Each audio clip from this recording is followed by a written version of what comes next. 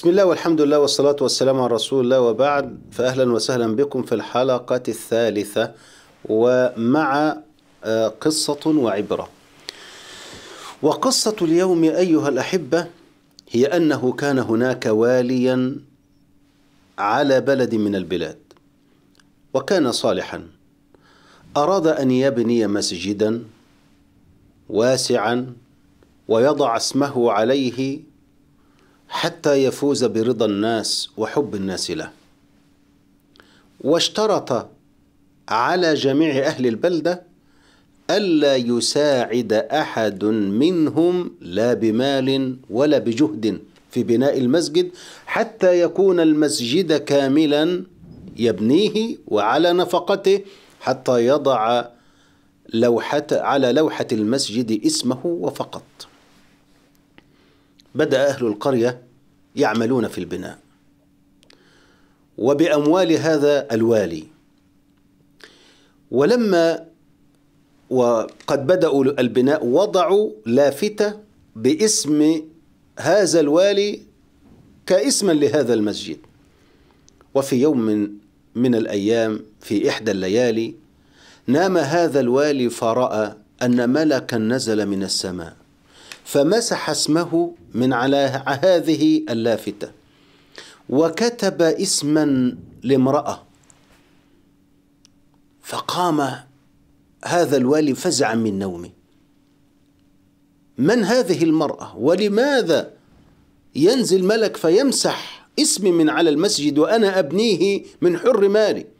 وسأل عماله هل أحد شارك أو يشارك في بناء هذا المسجد من ماله؟ قالوا لا ابدا. وفي الليلة التالية نام الوالي فرأى نفس الرؤية أن ملكا نزل من السماء فمسح اسمه وكتب اسم امرأة.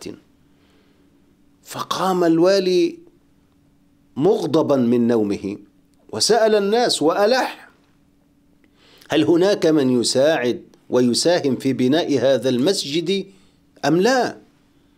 قالوا لا. وظلوا يبحثون يبحثون ولم يعثروا على شيء. ثم في الليلة الثالثة نام الوالي فرأى نفس الرؤيا. فركز على أن يرى الاسم الذي سيكتب على اللوحة بعد أن محى الملك اسمه.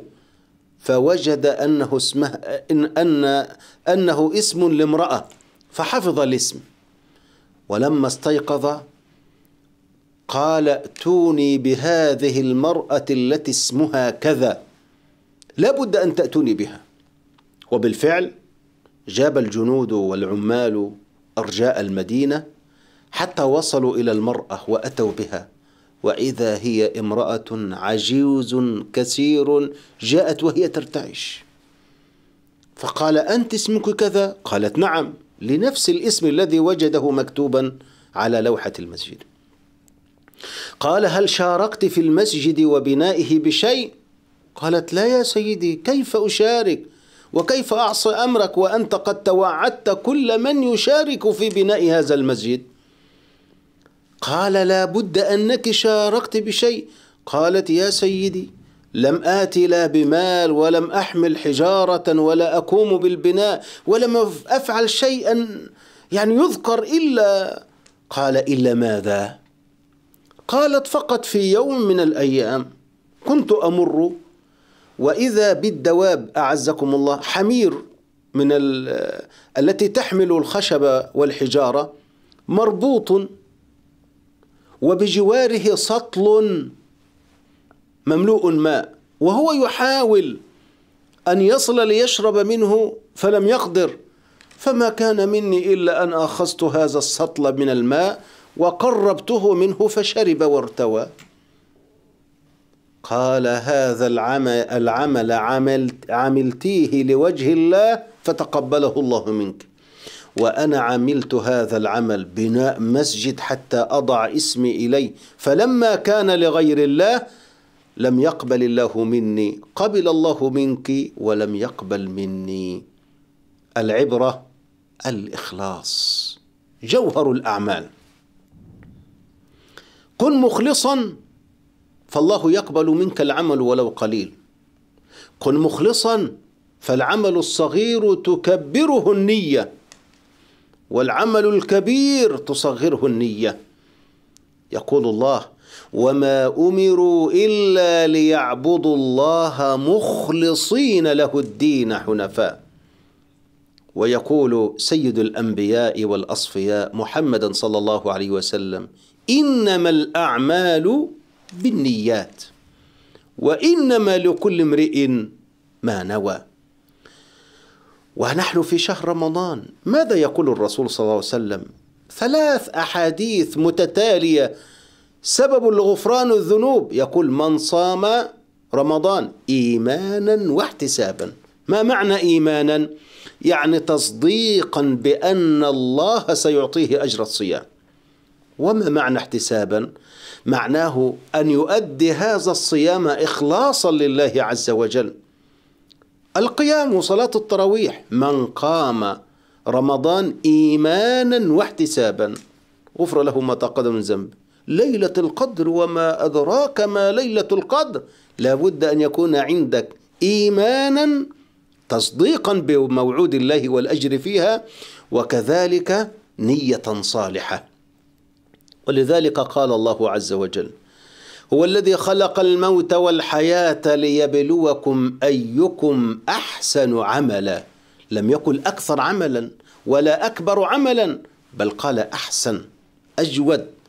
ولما سئل السلف الصالح ما معنى أحسن العمل قال أصوبه وأخلصه. يعني يكون العمل صوابا صحيحا. نصوم نصلي نعبد الله كما أمر الله وكما شرع لنا رسوله صلى الله عليه وسلم. وما معنى أصوبه وأخلصه؟ ما معنى أخلصه؟ أن يبتغى بالعلم وجه الله عز وجل. ولذلك نقرأ في أواخر آية في سورة الكهف كل يوم جمعة فمن كان يرجو لقاء ربه فليعمل عملا صالحا ولا يشرك بعبادة ربه أحد.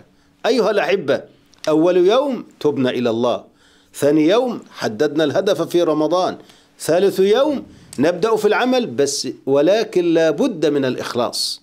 وأن يصحبنا الإخلاص حتى لا يضيع الأعمال فمن قدم عملا بدون إخلاص قال الله وقدمنا. إلى ما عملوا من عمل فجعلناه هباء منثورا. رب عمل صغير تكبره النية ورب عمل كبير تحقره النية. ولذلك يجب علينا أن نهتم بهذا الإخلاص. وسيدنا الرسول صلى الله عليه وسلم يعطينا وصية يوصي بها الرجل الأول في الأمة بعد رسول الله أبا بكر. قال له يا أبا بكر ألا أدلك على شيء إذا قلته؟ أذهب الله عنك كثير الرياء. وقليله؟ قال بلى يا رسول الله. قال قل اللهم إني أعوذ بك من أن أشرك بك شيئا وأنا أعلمه وأستغفرك لما لا أعلمه. اللهم اجعلنا من عبادك المخلصين المخلصين. اجعلنا ممن يقولون فيعملون ويعملون فيخلصون ويخلصون فيقبلون. والسلام عليكم ورحمة الله وبركاته.